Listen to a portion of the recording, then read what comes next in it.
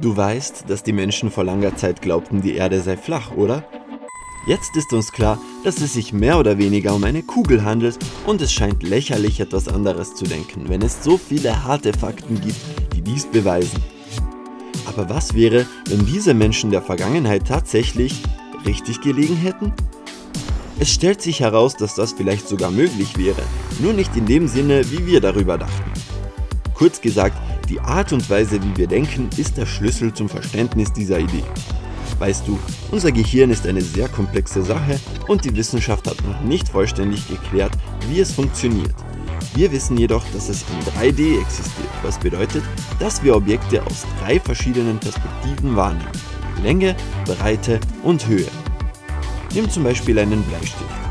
Du kannst sagen, dass er 7,5 cm lang und 6,5 mm breit ist und dieselbe Höhe hat, da er an der Basis rund ist. Wenn eines dieser Maße fehlen würde, wäre er flach wie eine Zeichnung auf einem Blatt Papier. Nun, das alles scheint offensichtlich und du musst dich fragen, warum ich es überhaupt erwähne. Nun, die Sache ist, dass unser Gehirn, da es Dinge nur dreidimensional denken kann, sich keinen zweidimensionalen Raum, der real ist, vorstellen kann. James Cargill, Physiker an der University of California in Davis, vertritt die Ansicht, dass 2D-Universen existieren und sogar Leben unterstützen können. Darüber hinaus könnte unser eigenes Universum in der Tat ein 2D-Hologramm sein, das einfach so geformt ist, dass die Illusion eines 3D-Raums erzeugt wird, die unser Gehirn tröstet. Aber ich nehme mich hier selbst etwas vorweg. Lasst uns zunächst untersuchen, was Dr. Scargill unter 2D-Universen versteht. Zunächst wollte er das philosophische Konzept testen, dass ein Universum nur existieren kann, wenn es Leben gibt, welches es beobachtet. Einfach ausgedrückt, wenn es in einem Universum kein Lebewesen gibt, ist es einfach nicht real.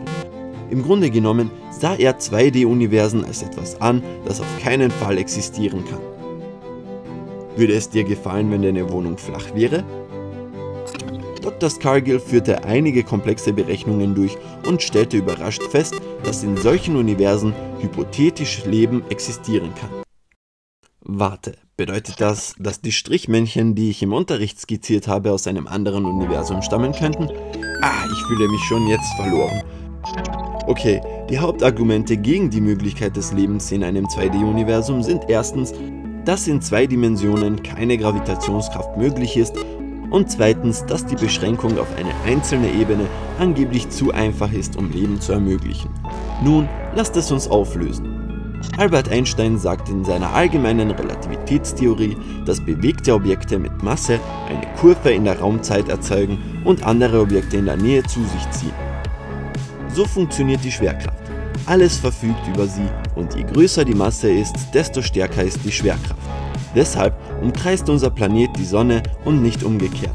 Die Sonne hat einfach eine stärkere Anziehungskraft. Okay, die Schwerkraft erklärt. Aber wer sagte, dass sie nur in drei Dimensionen existieren kann? Tatsächlich niemand. Und Dr. Scargills Berechnungen zeigen genau das.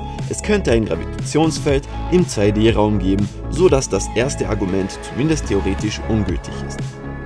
Das zweite Argument scheint noch schwächer zu sein als das erste. Es wird allgemein angenommen, dass das Leben nicht außerhalb unserer lieben drei Dimensionen existieren kann, weil alles andere einfach zu einfach ist.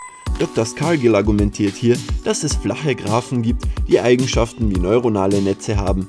In der Mathematik können solche Graphen in einer einzigen Ebene gezeichnet werden, so dass sich keine Linien kreuzen und nur an ihren Enden treffen, so dass sie keine dritte Dimension benötigen. Und wenn sie Eigenschaften gemeinsam haben, können sie im Wesentlichen ähnlich sein. All dies könnte ein Beweis dafür sein, dass 2D-Universen existieren. Zumindest können sie das Leben gewährleisten und das bedeutet, dass sie möglich sind. Ich hoffe, dein Gehirn tut doch nicht weh. Meins auf jeden Fall. Und das ist noch nicht einmal das Beste. Siehst du, viele Mathematiker glauben, dass unser eigenes Universum selbst zweidimensional ist. Ich wollte es dir nicht vermiesen, aber wir sind alle flach hier. Es ist wieder nur unser Gehirn, das denkt, dass alles um uns herum drei Dimensionen hat. Zumindest ist das die Theorie. Es wird holographisches Prinzip genannt, dessen Hauptidee es ist, dass das Universum im Wesentlichen 2D ist und für uns 3D aussieht, weil sein Bild auf einen kosmischen Horizont projiziert wird. Hologramme funktionieren ähnlich, daher der Name. Und es gibt eine solide wissenschaftliche Grundlage dafür, keine Sorge. Das Universum ist riesig, nicht wahr?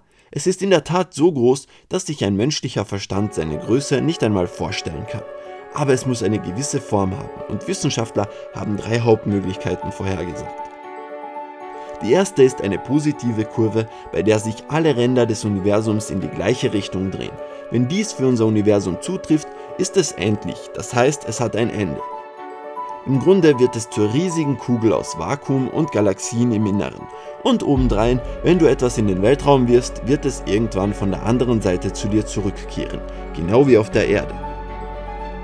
Die Astronomen haben jedoch längst bewiesen, dass das Universum ständig wächst und sich seine Ränder schneller als das Licht von uns entfernen. Das heißt, es kann nicht kugelförmig sein. Also, da haben wir es. Die zweite Möglichkeit ist, dass das Universum negativ gekrümmt ist und in diesem Fall die Form eines Sattels annimmt. Auf diese Weise kann es unendlich erweitert werden. Aber wie Alan Duffy von der Swinburne University of Technology in Australien erklärt, würde dies zu einigen ziemlich seltsamen Effekten führen. Wenn du zum Beispiel zwei parallele Laserstrahlen in den Weltraum leuchten würdest, würden sie sich schnell voneinander wegbewegen und würden alles, was du in der Schule gelernt hast, in den Schatten stellen. Da dies nicht der Fall ist, bleibt uns die dritte Möglichkeit. Und das ist das Nichtvorhandensein einer Kurve. Wenn das Universum flach ist, kann es unendlich wachsen und es wird die Raumzeit um uns herum nicht verzerren. Genau das passiert uns gerade jetzt. Und es bringt uns zurück zu der Theorie, dass das Universum nur zwei Dimensionen benötigt. Warum sollte es mehr brauchen, richtig? Also los geht's. Die ganze Welt ist flach und wir merken es nicht einmal. Wow, das ist eine riesige Sache, ich verstehe. Aber was ist mit den Menschen der Vergangenheit? Wussten sie wirklich etwas, was wir nicht wissen? Vielleicht gibt es eine einfachere und beruhigendere Erklärung. Gehen wir in die Geschichte zurück und begegnen unseren Vorfahren, den alten Menschen. Du kennst Höhlenmalereien, oder? Zeichnungen von Tieren und Menschen an jahrtausende alten Höhlenwänden. Wenn du sie gesehen hast, dann merkst du, dass alte Künstler nichts über Perspektive wussten. Sie zeichneten einfach, was sie von ihrem eigenen Standpunkt aus gesehen hatten. Wenn du darüber nachdenkst, tun kleine Kinder dasselbe. Ihre Zeichnungen enthalten kein Volumen. Das liegt daran, dass sie die Welt so sehen, wie sie ist, ohne künstliche Konzepte, die wir Erwachsenen hinzufügen. Und so war es auch mit alten Menschen. Ich denke, du könntest sie die Kinder der planetarischen Skala nennen. Sie brauchten die Erde nicht als Kugel zu sehen. Sie lebten nur darauf und so sahen sie die Dinge klar. Diese Denkweise blieb ziemlich lange bestehen und war tief im menschlichen Gehirn verwurzelt. Hast du jemals versucht, über etwas zu streiten, von dem du wusstest, dass es wahr ist? Wenn dir jemand sagt, dass der Himmel lila und das Gras blau ist, was würdest du denken? Ich? Ich würde es zuerst für alle Fälle selbst überprüfen. Wer weiß? Wie auch immer, teile deine Meinung in den Kommentaren unten. Die Menschen der Vergangenheit wollten natürlich keine neuen und radikalen Ideen über unsere Welt übernehmen und sie zogen es vor, sie als flach zu betrachten. Aber dann wurde bewiesen, dass es nicht so ist und die Evolution des menschlichen Geistes begann schließlich. Denke aber nicht, dass ich verrückt bin, denn ich verstehe perfekt, dass Leute immer Objekte in 3D um sie herum gesehen haben. Sie kümmerten sich einfach nicht so sehr darum. Und schließlich muss ich sagen, dass unser Gehirn uns leicht durcheinander bringen kann. Die Sache ist, was auch immer wir sehen, hören, riechen, berühren oder schmecken, ist nicht wirklich ein tatsächliches Objekt, es ist unsere subjektive Wahrnehmung davon. Du weißt, wie es ist. Du nimmst einen Löffel einer köstlichen Fischsuppe und es macht deine Geschmacksknospen ganz aufgeregt. Dann bietest du einer Freundin an, sie zu versuchen und sie wird ganz grün, während sie daran riecht. Wie konntest du nur vergessen, dass sie Fisch hast? Schäm dich. Aber ich habe mich wieder ablenken lassen. Was ich sagen möchte ist, das, was immer du tust, es dein Gehirn ist, das Signale von deinen Organen und Gliedmaßen verarbeitet und dir ein klares Bild vor Augen gibt. So viele Menschen, so viele Ansichten von der Welt. Und es gibt buchstäblich keine zwei Welten, die völlig identisch sind. Das ist einfach verrückt, aber es lässt einen irgendwie glauben, dass wir alle in einem zweidimensionalen Raum leben könnten, nur als 3D. Okay, ich brauche eine Pause, um das alles erst einmal wirken zu lassen. Und vielleicht brauchst du jetzt auch eine. Das hat mich vor einiger Zeit umgehauen und ich habe überall am Mikrofon graue Substanz verteilt. Nur ein Scherz natürlich. Hey, wenn du heute etwas Neues gelernt hast, dann gib diesem Video ein Gefällt mir und teile es mit einem Freund. Aber geh noch nicht. 2D, flache Erde, egal was der Beweis ist. Wir haben über 2000 coole Videos für dich zum Ansehen. Klicke einfach auf das linke oder rechte Video und genieße. Bleib auf der Sonnenseite des Lebens.